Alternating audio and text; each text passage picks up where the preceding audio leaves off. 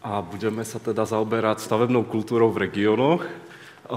Na začiatok, pretože mám trému, tak mám taký osobný, osobný príbeh, ako som sa dostal k vidieckej architektúre, alebo venkovskej architektúre. A, a dostal som sa na štúdium, na štúdium do Holandska, kde som vlastne bol fascinovaný tým, ako dokážu do tradičnej vidieckej zástavby vtesnať modernú architektúru, takže to vôbec nepoznáte. Je to vila v Nujvej Dame, kde mal klient veľký požiadavok na priestor, tak vymysleli dvojdom, ktorý má dva štíty.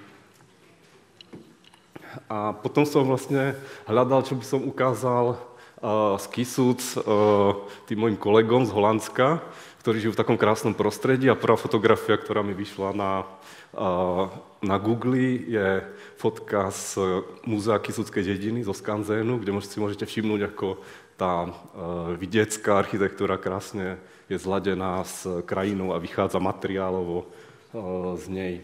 A oni potom prišli a videli túto realitu Kisúckej dediny. Je to exemplárny príklad, to sa vyskytuje aj v tých krajinách, kde žijete vy. Takže to neberte úplne, že, že sa vysmievam z môjho rodiska. a, a tu zase vidíte opak, že tie domy medzi sebou nemajú žiadny vzťah, nemajú žiadny vzťah ani s tou krajinou. A, mám pre vás aj takú súťaž, a, a, aby ste tu len tak nesedeli. A, na vrchu sú obrázky a ja vás nechám hlasovať, či si myslíte, že obrázok číslo 6 v tej, v tej hornej časti je z Hané. Kto si myslí, že je ten obrázok z Hané? Alebo, alebo ten, ten dom? Takže máte pravdu, je to, je to z. Uh, sú tam, uh, jednotka je z Holandska, dvojka sú uh, Južné Čechy, uh, oblasť Dobrudža, uh, Estónsko, uh, uh, Chebsko, Hana, Kisuce a osmička je Bretónsko. A teraz sa vás pýtam na tej spodnej časti obrázku, kto si myslí, že obrázok číslo C je z Estónska. Takže jeden správny hlas. A na toto si uvedomíte, že súčasná produkcia vôbec neprispieva k identite, identite tých regiónov. Ja už si nepamätám presne, ktoré sú ďalšie čísla. A preto sme vytvorili taký pozdrav, ktorý môžete poslať z akéhokoľvek regiónu Česká a Slovenska. Stačí, ktorý je zložený práve z tej súčasnej produkcie. Kolegyňa mi poslala z Paríža s Eiffelovkou dokreslenou tam na tom kopečku. A tu je ešte príklad, ako vznikol prvý katalógový dom, že bol takou inšpiráciou všetko, čo sa v okolí našlo. A vďaka e, tomu sme si uvedomili, že rozmanitosť vidieckej architektúry je nesmierne bohatstvo Európy. A e, každý developer vie, alebo realiťák, že na hodnote stavby sú najdôležitejšie tri veci. Tá prvá je lokalita, e, druhá je lokalita a tretia je lokalita.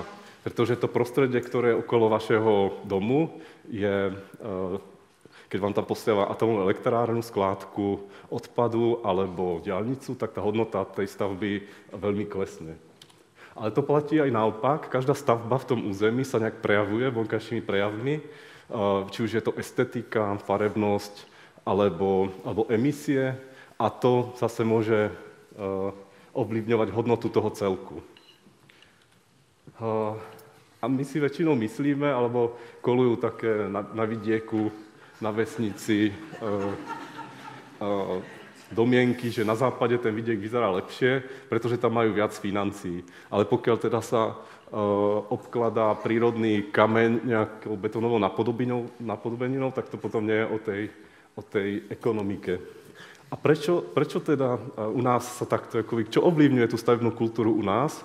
A keď sa pozriete, čo to je, tak sú to presne tieto letáky z hobby marketov, kde vám modelky s motorovými pílami, ukazuje, kto je ľahké všetko zrealizovať sami.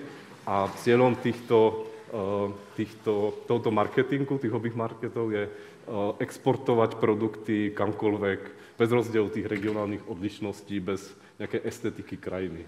Takže, takže tie naše problémy sme tak definovali ako kultúrna tradícia, ktorá bola prerušená za socializmu. Regulácie sú chápané niečo ako protiklade so slobodou alebo demokraciou a chýba akákoľvek osveta a vzdelávanie ohľadom toho, ohľadom architektúry.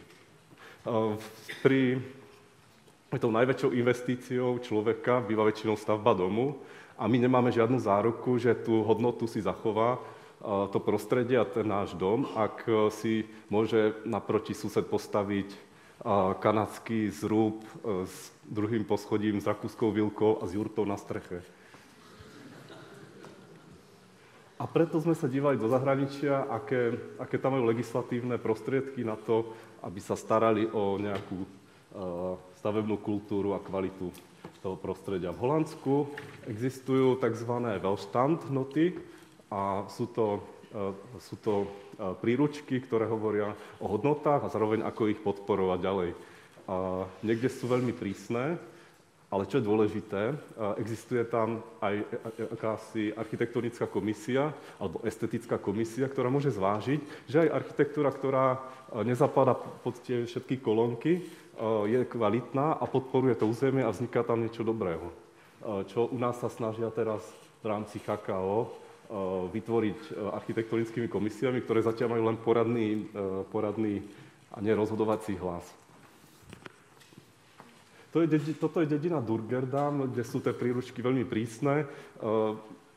Sú tam predpísané veci typu, že okno z hlavnej obytnej miestnosti musí smerovať do ulice čo má taký ako, som pozrel, hm, to je veľmi zvláštne, to by u nás asi nemohlo fungovať, však je demokracia, myslím, že robiť, čo chceme. Uh, ale to má taký ako sociálny aspekt v tom, že tá ulica je, má prirodzenú sociálnu kontrolu, uh, že u nás sa tie domy otáčajú často len garážou do ulice a, a funguje tam perfektne, bez, je tam bezpečnosť, ide tam príjemne, večer, keď svietia obloky, tak si tam ako doma. Uh, a takisto ďalšie požiadavky na fasádu, obklady musia byť vyrezávané ručne a podobne. Ale sú tam, ale tieto uh, uh, Welstand noty alebo uh, prospekty sú pre každú aj novú lokalitu, aby aj tie nové lokality mali nejaký charakter uh, a mohli, nie sú, tak, nie sú tak limitujúce, pretože ešte len hľadajú architektúru, ktorú, ktorá Holandsko preslávi. Ale toto je štvrť, kde napríklad musíte stavať len houseboty. Uh, v tých, tie estetické komisie tam slúžia na to, aby zvažovali, zvažovali ten uh, prínos, uh, prínos pre spoločnosť, alebo tie hodnoty, ktoré tá spoločnosť vyžaduje, a ten uh, developerský alebo investorský cieľ, aby to bolo v rovnováhe. V Nemecku od 80.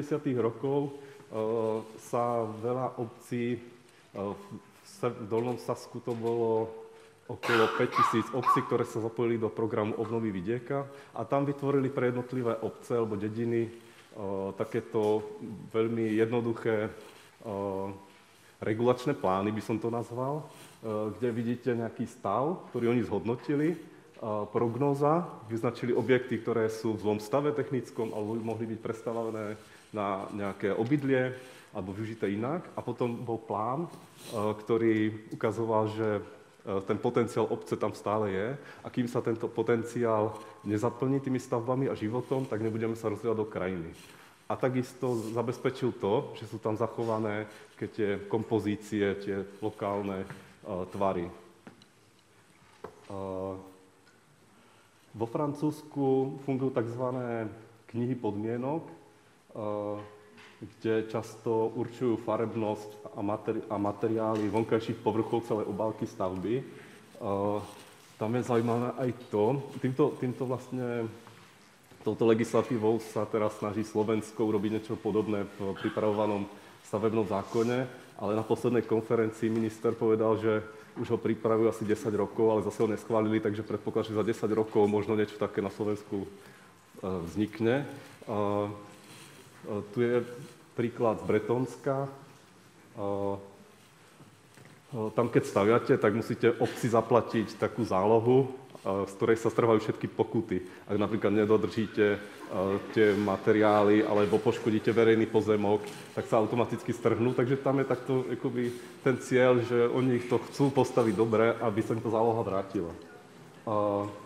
Architektka Lea Legal, ktorou som spolupracoval pri mapovaní toho regiónu, na začiatku, na začiatku vnímala tie architektonické regulácie ako zásah do invencie architekta, ale dneska vraví, že sú to že aj keď sú nastavené nejaké podmienky, tak stále je možné vytvoriť kvalitnú architektúru a postavila si svoj dom zo starej chlieva pre kravy, tým, že zvihla strechu a držala všetky tie zásady. Takže to rozvíja rovnako aj e, právne iné legislatívne normy, ktoré obmedzujú architekta, tak aj tie architektonické alebo vytvárne zásady môžu obmedzovať, ale neznamená to, že nám niečo znemožňujú.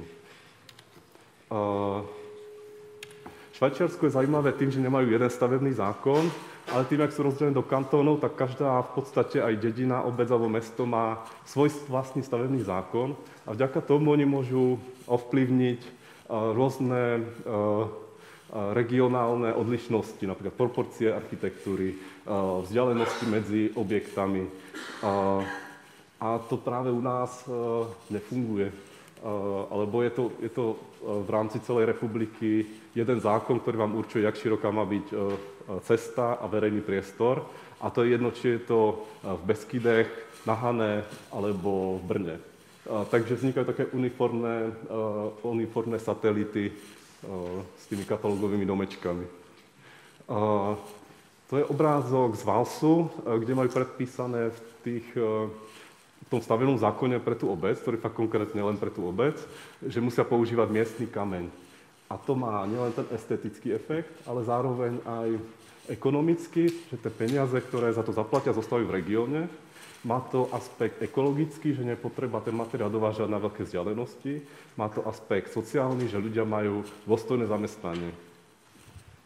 Takže to majú takto všetko pekne s užiteľným rozvojom spojené. Toto je moderná, moderný hotel vo Vals. A okrem, okrem toho zase sme spolupracovali so Švajčiarmi, tak oni nám vraveli, že prečo u nich sa stavia tak kvalitne a krásne, pretože už na základnej škole sa detská učia, čo je to architektúra, súdoba, čo je to súčasný dizajn. A preto oni to potom chcú, tie detská. Keď vyrastú, tak chcú mať ten moderný dom a chcú mať tú kvalitu. A v Norsku alebo v Škandináviách sa často stretnete s tzv. farebnými paletami, kde si môžete vybrať e, na stavbu, na fasádu a na strechu len z obmedzenej palety. A toto je veľmi dobré, dobrá regulácia, ktorá, ktorú ľudia príjmajú, pretože finančne nestojí investora nič, či natrie ten dom bielo alebo fialovou.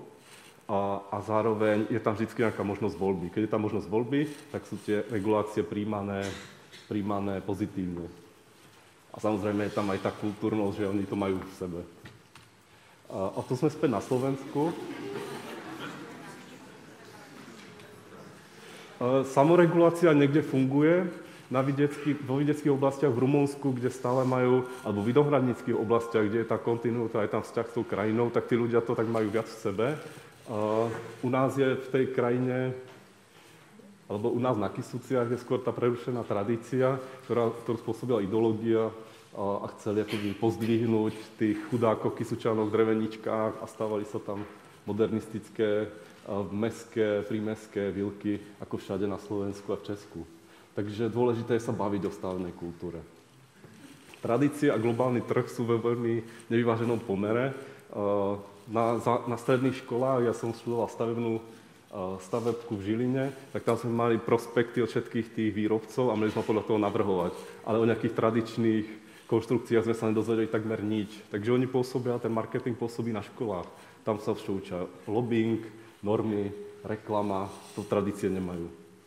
A jeden z takých príkladov z Portugalska, kde vytvorili novostavbu, ktorá moc nerešpektuje tie tradície alebo, alebo to okolie, ale tam bolo zaujímavé to, že oni si vzali pomer, farebný pomer a vytvorili objekt, ktorý mal rovnaký farebný pomer s tou tlmenou farebnosťou, ktorá tam je a zároveň aj tá architektúra, ktorá vypadá, že vôbec nesplňuje nejaké požiadavky, tak tam má tento tip a dá sa s tým pracovať práve rôzne kreatívne. Preto sme aby sme tie hodnoty, o ktorých už bola reč, na tie hodnoty upozornili, tak sme so spolužiakmi vytvorili knihu, ktorá je zložená z fotografií už asi 10 rokov dozadu a tam vlastne popisujeme, čo je hodnota toho našeho malého regiónu, ktorý sme si vybrali. Napríklad ako pracovali ľudia so stromami, že to bola prirodzená klimatizácia, kde v lete vám to zvlhčuje vzduch, to všetko poznáte. V zime opadajú listy a slnko ide až, to cenné slnko ide až do interiéru. Alebo modrá farba tu používali, pretože na ňu sa dá hmyť. Keď si dáte žlté tričko, prejdete sa po lúke, tak máte tie breberky čierne všetky na sebe, ale na modrú nesadajú. Ja som to uh, zistil na, uh, na delte Dunaja, kde je množstvo komárov a tá loď, na ktorú sme plávali, bola, biel, bola bielo-modrá a všetky komáry sedeli na bielej. Modernizácia na vidieku úplne prirodzene prebieha napodobovaním susedov, takže sú veľmi dôležité dobré príklady. Toto je zlý príklad, kde uh, si sused kúpi lacné dvere z Polska a druhý sused si kúpi úplne rovnaké lacné dvere z Polska. A to funguje ale aj pozitívne, aj negatívne. Máme na Slovensku Orloj, ktorý je skopírovaný z toho pražského. Uh, trošku maďarskej organiky, aby to bolo jedinečné. A k tomu hneď susedný objekt, hospoda krčma, tá sa inšpirovala tou bizarnosťou toho orloja a vznikli tam ďalšie takéto stavby. Takže to je to napodobovanie susedov, ktoré fakt, fakt pracuje. Ja vám ďakujem za pozornosť tejto časti a ešte mám pre vás ukážku veci, ktoré robíme v Malej Fatre. Pretože keď sa bavíme s politikmi, z miest a obcí v okolí, tak všetci vravia, no ale my nič nemôžeme s tým robiť, máme len zákony, ktoré musíme plniť. A my sme teda uh, zhodnotili, uh, alebo urobili takú analýzu fotografie a knihu aj oblasti, v oblasti Malej Fatry. Uh, a potom sme zistili, je, to teda, je tam množstvo textov, potom sme zistili, že ľudia nečítajú, a pripravili sme teda výstavu fotografií, ktorá popisuje to, čo sme tam objavili. To už som vravel, že tá naša tradícia bola prerušená socialistickou ideológiou, ktorá chcela premeniť e, človeka e, na vidieku, na, na, alebo na jednotriedného, aby všetci bývali v rovnakom e, dome, otrhnutí od, od terénu, mali balkóny a, a slnili sa tam ako, ako ľudia v panelákoch. Do toho prišla, prišlo ďalší, ďalší prevrat a to bolo to, to obdobie 90 kedy všetko bolo dovolené, ale návrat k sa nerealizoval. To asi nemusím ukazovať. A ďalším, ďalším produktom, a to mimochodom nie je rómska osada, to je tam tak proste... Ďalším produktom, ktorý sme vytvorili, je manuál. On vyzerá veľmi oficiálne, má takú modrú obálku ale je to skutočne taký prvý produkt, e, ktorý hovorí, ako teda stavať. Pretože keď sme popisovali tie hodnoty, tak sa pýtali, ako máme teda stavať. Takže vznikol manuál, ako stavať pod rozsudcom a k tomu pracovný zošit pre školy, e, kde sa vlastne vysvetľujú tie hodnoty aj architektúry. E, sú tam teda tie príklady, tieto nie, ale dobrej architektúry, aby mali kontakt, a vlastne to bolo rozdistribuované do všetkých základných škôl v tom regióne, aby mali kontakt s tou súčasnou architektúrou. Je tam vlastne popísané, ja už budem končiť za chvíľu. A, a, získali, sme, získali sme z participatívneho rozpočtu financie na pokračovanie týchto a, projektov a, a v tom manuálu sú také vtipné komiksy, ktoré vysvetľujú, čo sa tam deje. Napríklad plastovú kvetinu není potreba zalievať, stačí otrieť, otrieť prach raz ročne. A sú tam také ako jednoduché schémy, čo áno a čo nie, ako pracovať s terénom, tvar strechy, hodnoty tých osád, ktoré každá, každá jedinečná, tie by stali za, za zvláštny výskum, jak vlastne pracovali v tých osadách, ktoré vznikali skôr organicky, ale nejaký systém tam vždy je a ten systém je ťažké objaviť, niekde sú to šachovnice, 100 e, dola dom a medzi tými domami je vždy priehľad do krajiny, ste perfektne, alebo, alebo sú tie domy natočené k ceste tak, aby mali výhľad, aby si nezacláňali. Množstvo, množstvo zajímavých vecí. Uh, jeden v tom pracovnom zošite pre deti sme urobili omalovánku, kde mali detská vyfarbiť 4-ročné obdobia a mali pochopiť, a mali pochopiť, že už len vyfarbovanie tu je strašná nuda. A ďalší, ďalší, ďalší, ďalšia úloha bola e, tzv. stresová omalovánka. Vy poznáte antistresovú. A v tej stresovej mali za úlohu vytvoriť čo najmenej harmonickú kompozíciu a bolo tam popísané, ako, to vlastne, ako sa maľovali obrazy v minulosti, že tá strecha bola červená a omietky nejaké biele a krajina potom vynikla zelená. A oni mali vlastne robiť to, čo my robíme. Každý dom chce mať inú fasádu. Žiadna farba sa nesmie opakovať na obraze trikrát a podobne. A tieto prospekty si môžete teraz stiahnuť na našom novom webe pod rozsudcom, alebo pod rozsud.com. Vytvorili sme aj nejaké billboardy z toho participatívneho rozpočtu, kde vo Vrátnej doline, ktorá je taká E, symbolická pre všetkých e, ľudí z toho regiónu. E, sú teraz veľké tlaky a chcú zastávať, zastávať penziónmi. Pripravujeme komiks o Johnny Mušíkovi, čo je imaginatívny hrdina Jánošík a jeho potomok Johnny Šík, ktorý sa vracia do krajiny a sleduje, čo sa tam deje, zamiluje sa. A, a, a takisto posledná vec je prospekt, tak ako tie hobby markety posielajú do schránok do schránok svoje letáky, tak teraz robíme tzv. anti-hobby marketový leták, ktorý bude hovoriť o tých hodnotách krajiny. A presne ešte, možno v rámci diskusie by ste mohli poradiť, akú formu by sme mohli zvoliť. Posledný, posledná taková myšlienka je, že to bude mapa, v ktorej budú zaznačené uh, veci a ľudia môžu si čítať, čo vlastne sa tam vyskytuje v tej krajine, uh, architektúre. Máme to rozdelené podľa tých sekcií, zahrada, dedina, tak ako to je aj v tých hobby marketoch. Takže to je asi všetko vzhľadom k času a ďakujem za pozornosť.